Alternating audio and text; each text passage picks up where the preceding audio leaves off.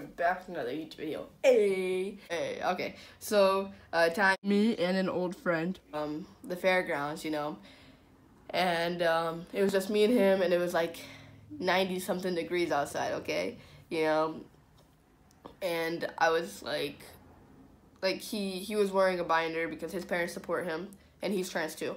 And then me, my parents don't support me, so I wore okay, okay, let me tell you. It's like 90 something degrees, like higher than 90, lower than probably 100. So probably right in the middle, like probably 96 or something.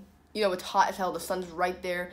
You know, we're gonna be walking. It's oh my goodness. First of all, it's packed there, so we had to park like like like a mile away and had to fucking walk.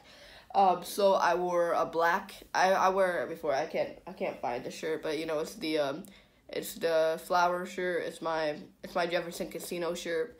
Uh, and then I always wear my necklace. I've always I always just wear my little cross necklace, you know.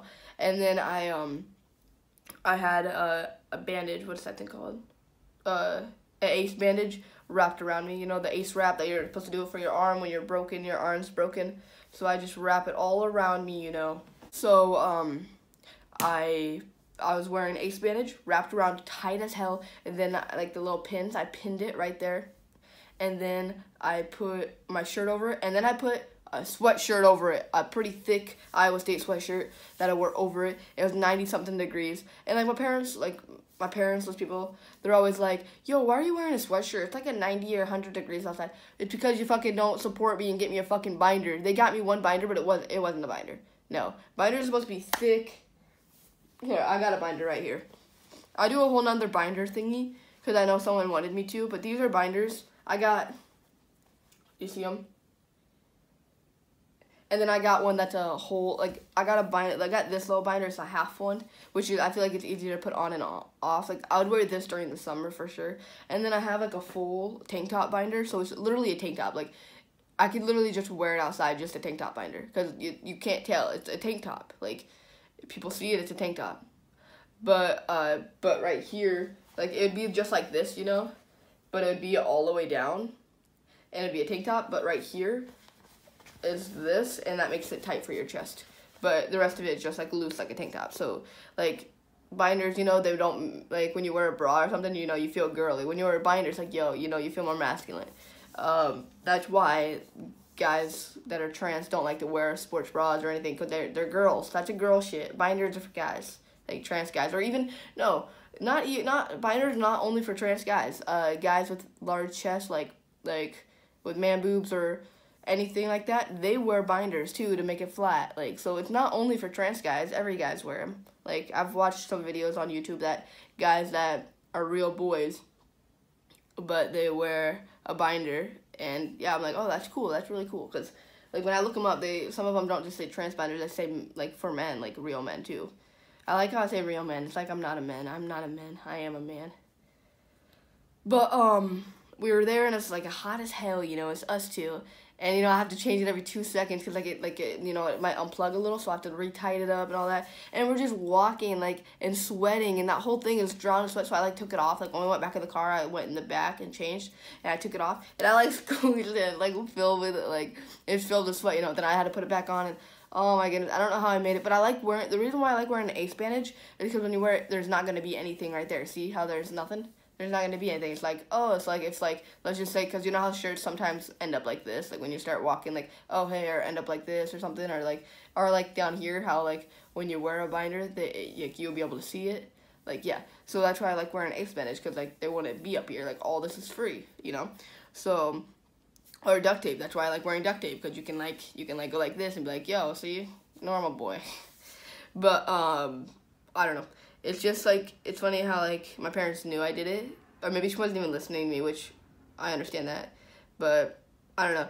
Like I just feel like everyone should be able to support everyone. And the people that don't support me, I want to know why they don't support LGBT. Because like everyone is different. Like yeah, I've watched those videos where the trans people overreact. Yeah, that happens, but like I don't know. Like not every trans person does that. Like me, I. I feel like when I like first came out, when someone did call me the wrong gender, I did get way upset because I'm finally out, like finally free, call me a boy, you know. But I don't know. Me, I I'm like like I'm gonna keep just talk, telling a lot of stories actually right now. So there's gonna be a lot of stories in one about me being trans. Uh, so there's another one when I I wasn't even out. Okay, I wasn't even. I just had short hair. You know, I look just like this. I wore my. I probably had the shirt. I don't want to go searching for it though. It's just an, a red Iowa State shirt that I used to always wear. Wear some basketball shorts. Um, I wore my hair literally just like this. Um, and I just started walking, you know, and um, we went to my brother. I probably already told you this story. I don't know. I I say I I feel like I say the story a lot. I went to my brother's uh, baseball game, my younger brother, and with my with my adopted dad, and um, you know, and I was just there on my phone like I don't really want to be here, but like there's nothing else to do. You know, it's in the morning of the summer, and I woke up and I don't want to go back to bed, so I was like, you know what, I'll just go with him. So I just on my phone, just chilling. This girl comes by. This girl looks at my dad, like an old woman, and like, and like not old old, but like a mom woman, and was like, "Hey, your your son's really handsome." And I'm like, I was like, I thought she was talking about the one up there. I was like, the guy playing baseball. I was like, he, he's not, he's not handsome at all. And then uh, my adopted dad was like, they're talking about you.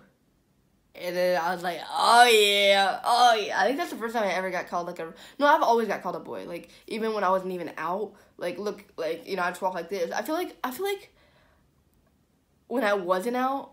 No, okay, I don't want to say that. But I was like, I used to get called a guy all the time, like, and then I feel like I came out and everyone started like I don't know, I don't know, it's weird because I used to even when I wasn't even completely out, I just got a haircut. Everyone was like, "Boom, you're a boy," and like call like not everyone I know, but like random people. Like when I'm at work, you know, I work with people, a lot of people, and everyone's just like, "Oh yeah, he." And I felt like I don't know, I felt like it was awkward because like everyone didn't know I was trans or like am a guy, you know, but I knew it and I'm like, I know inside I'm like, yeah, but outside I'm like, oh shit. Like there's one of my coworkers, they're probably looking at me like, what the fuck? What the fuck? What the fuck?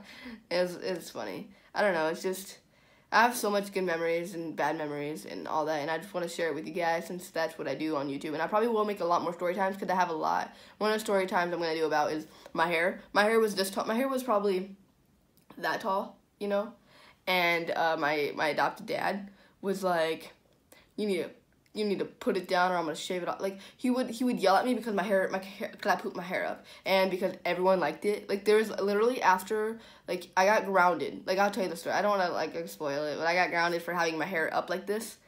And like right now it's probably too long. He'd probably tell me to cut it off or uh, put it down. I got so grounded that I used to put my hair down and you everyone at school like everyone knew me as this person right here, the hair the hair guy and then I go to school and I put my hair down. No one even like interact with me. like, what the fuck is that? You look like a turtle, you know. Um, I don't know. I feel like everyone should be able to be themselves. Whether it's my hair, like my hair is the most important part on my thing. Like that's how I, like, that's how I like know I'm me. Like my hair. Like I've always loved my hair. I have so much hair products. Literally behind the camera, I have so much.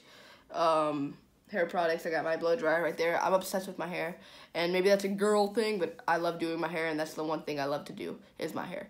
But I got a lot of other videos and if you guys made it to this part, please subscribe, please like and comment and hit the notification bell. Thank you guys. Really appreciate it. I'm going to probably make more videos coming soon. I know like my videos are like offhand. I just make it whenever. But thank you guys. I really appreciate it. See ya.